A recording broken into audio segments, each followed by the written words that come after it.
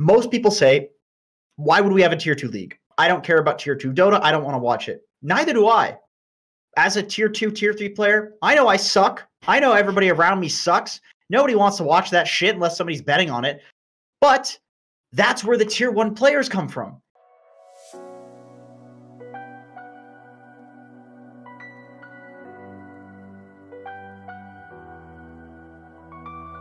All right. So uh, we are about to do our podcast, but it looks like there has been a final knowledge drop, a, a release, press release, I guess, from Valve regarding the regional leagues that were teased on Liquipedia not too long ago.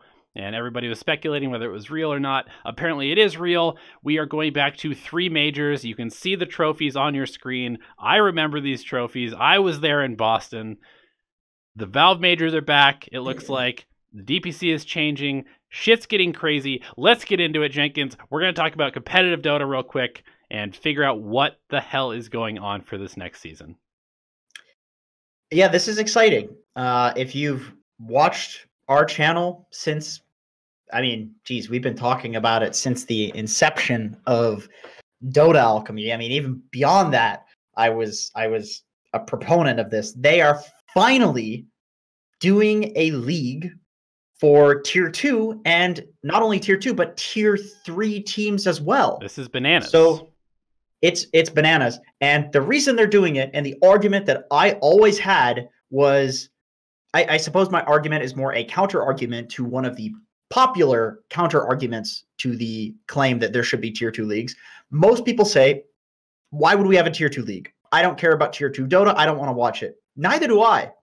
As a tier two, tier three player, I know I suck. I know everybody around me sucks. Nobody wants to watch that shit unless somebody's betting on it.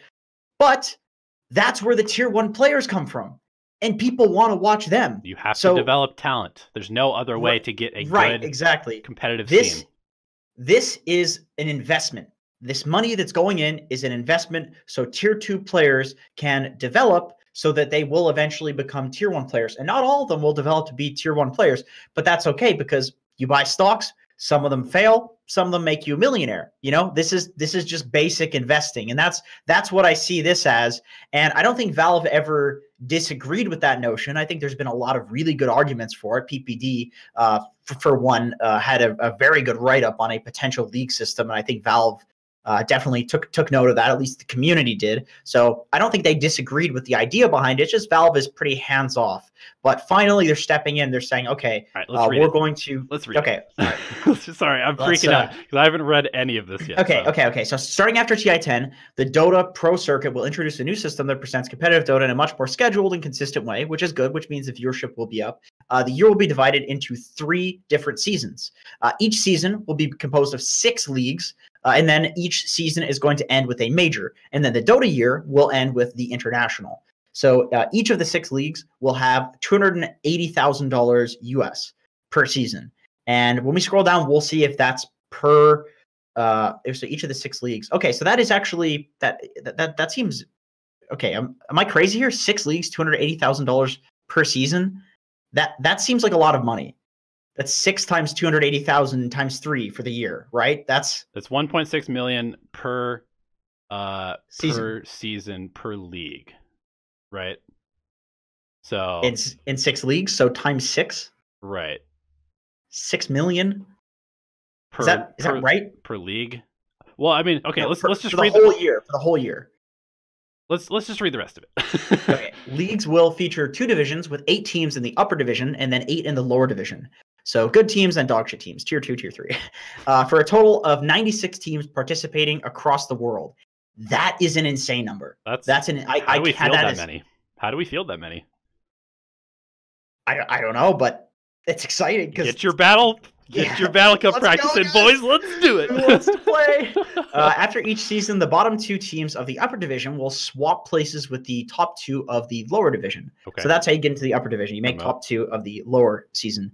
Uh, the bottom two teams of the lower division, they're out. They're gone. And then two new teams come in from uh, the open qualifiers. So basically, there's going to be a bunch of invites. Man, I got to contact somebody from Valve. I got to get invited to this.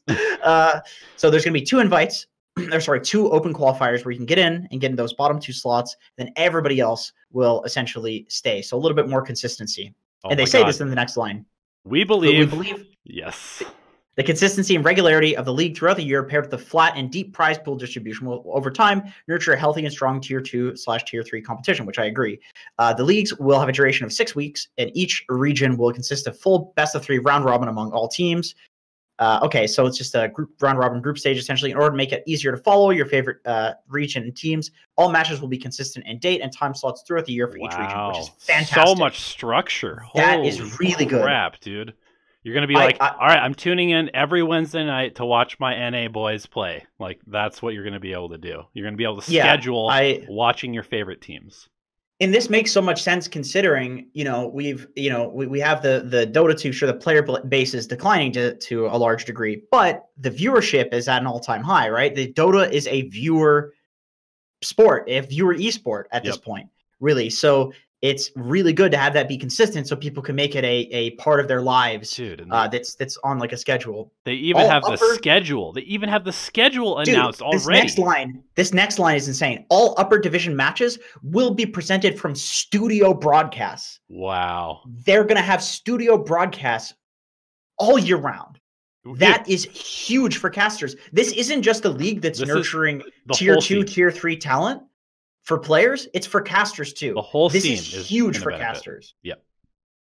I'm I'm so stoked about this. If you're a tier, the- if you're a tier one caster, you now legitimately have a real job. Like you, you can have a real job. If you're part of this, you can make a full year time salary. Because even for tier one casters right now, it's so feast or famine. You get like five events in a row. You make like your entire year's worth of salary in like, you know, three months, and then you just have no work for the rest of the time, and you're just like, what am I supposed to do with my time? Now it's like you are working consistently. You're going to have to show up. You're going to have to do pr- consistently good jobs, but you're going to have the resources, hopefully, to make this all happen in like a super professional, really well presented way.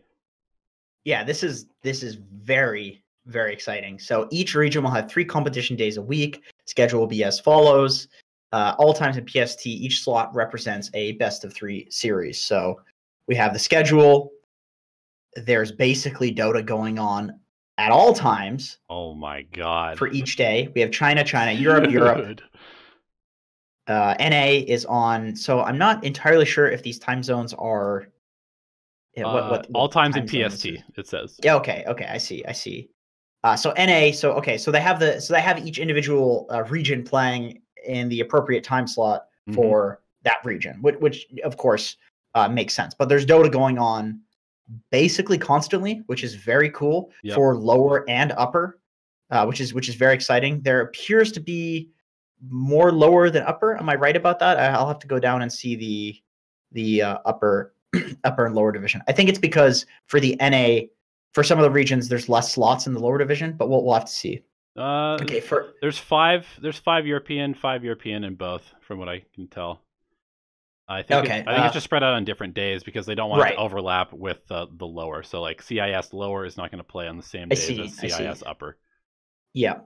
For the inaugural season, Valve will allocate the initial teams to the upper and lower divisions. Teams will also have to declare the region they choose to participate in and uh, be eligible for that region before the season starts. Okay, that that's fair.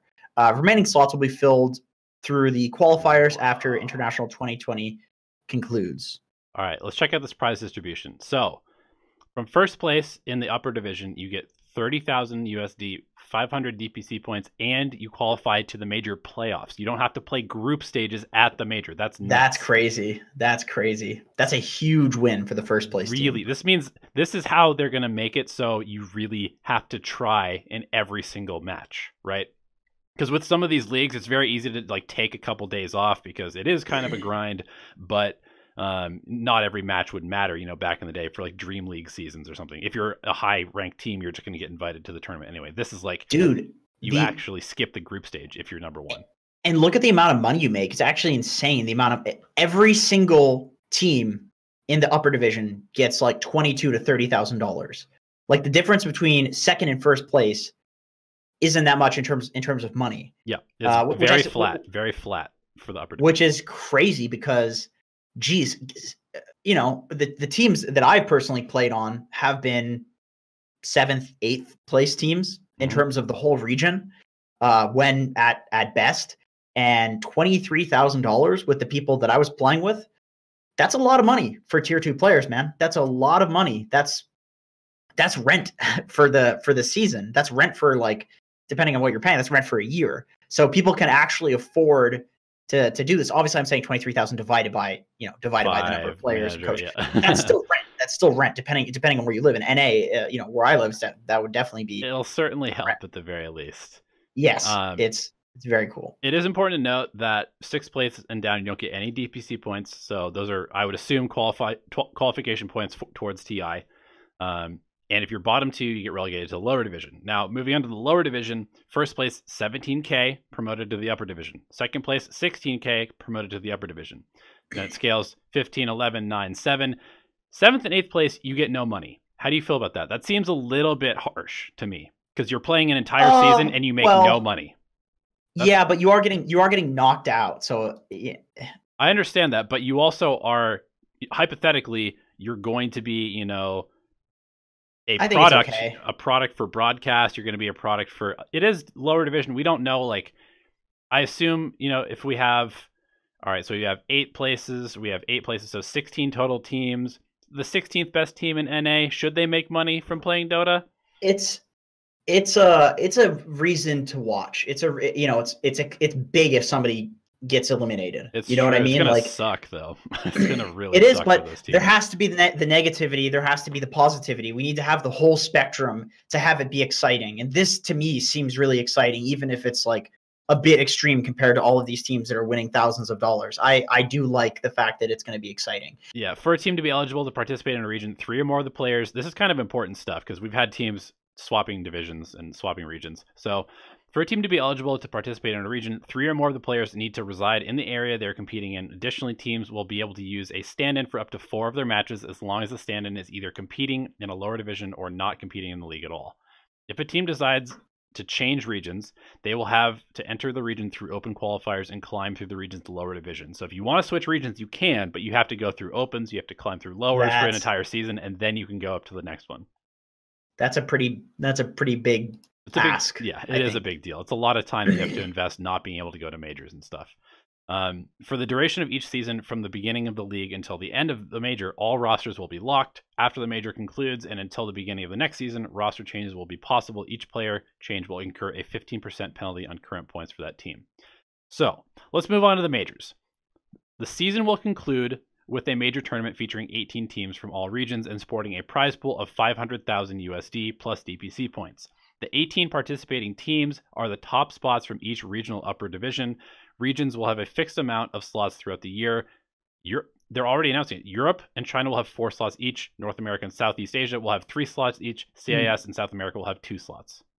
That's is that crazy to you that they're already announcing this, or do you think that's okay?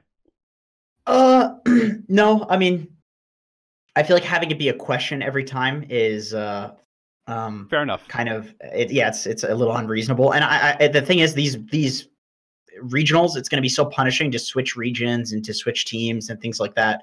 That I think we're going to see a lot more consistency with with the teams. I- so I guess my only question is the North America getting three slots. Like I think that they have teams that can fill three of like the potential, you know, best 16 teams, but at the same time you are saying like CIS, which is arguably the biggest population outside of China for a region is only getting two slots. Which is kind of nuts to me. sure, that's that's a fair argument. Maybe CI should have should get three because it is just you know there's no minors or anything. So So, I mean, Yeah. I don't know. Uh, I suppose it's kind of like you know Europe is it gets four slots and CIS is like close to Europe. So I mean, I guess South America's close to North America as well. don't know where you're going with that, but I don't know. I'm just saying like they could you know they could move they could move and join like a European team for I example. suppose, I suppose. Whereas like you know it would be hard for for a North American to to join a European team like that. You know it's expen- really expensive. I suppose so. All right, take it away with the majors format. Okay. Uh, wait, where the hell is that? Wild oh major format. Wild card format. Six teams best of two round robin. Uh top two teams advance to the group stage. So okay just just a group stage. Interesting. So uh okay cool. So six teams from all of the regions. I think one team oh no two from China two from Europe one from NA one from SEA so SA and CIS don't even get a slot in the wild card which is which is interesting. That is interesting. uh, okay. Uh, format of the group stage is eight teams, best of two, round robin. Top two teams advance to the playoffs of the upper bracket, and the third and sixth place advance to the playoffs of the lower bracket. Uh, two teams get eliminated, which I think is pretty standard. Mhm. Uh, and then playoffs is just 12 teams double elimination, which is also standard. And then the prize distribution is 200k for first place through 12k for eighth place. And remember, you also get a prize for the league as well. hmm So I believe it's not it's not uh, counted already, is it? No, it's not. It's not. So yeah, so you're just getting a bit of bit of extra money on top of whatever you win at the major. Okay, so if I'm, let's see, in the playoffs because there's 12 teams in a double elimination bracket, so the bottom four teams make no money. Is that correct? I guess.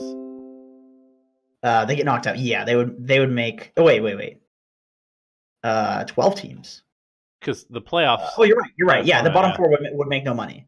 They just didn't. They just didn't include it on here. But you make you make money from the qualifiers. from getting there. Yeah. Yeah, and there's no open qualifiers for TI now, so it's straight up. You're playing in the leagues. That's the only way to get to TI. Wow. Yeah, that's very interesting. Okay. So, So no invites, nothing like that. and basically what they're saying is that um, we don't want to have to deal with this whole open qualifier thing. We don't want you guys to be forming stacks like at the last second to play in opens and and try and make it into regional qualifiers. Like if you want to be part of the Dota ecosystem, you need to formulate a team and you need to play with them.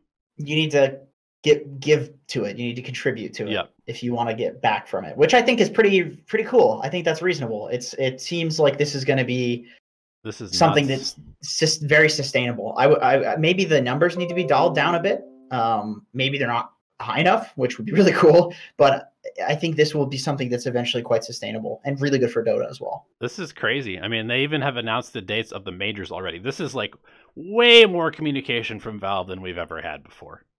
So the dates for each each season are as follows for the upcoming year after TI10. Obviously, season one fall league will be from October 5th to November 15th, with the major going from December 7th until the 19th. So awesome.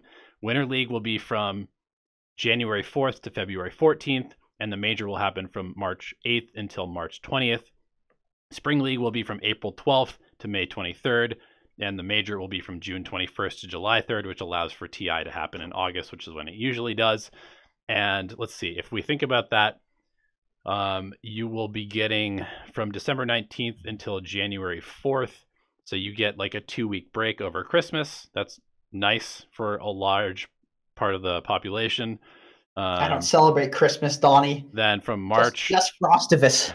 March until April, you'll get um, again like a two week break, a little bit more than two weeks, and then July 3rd will be the end. And they usually have it in like first week of August, so almost a full month off after the end of season three. So that's a lot to take in. I'm gonna have to read through this again. What do you think, Jenkins? Initial thoughts? Are you excited?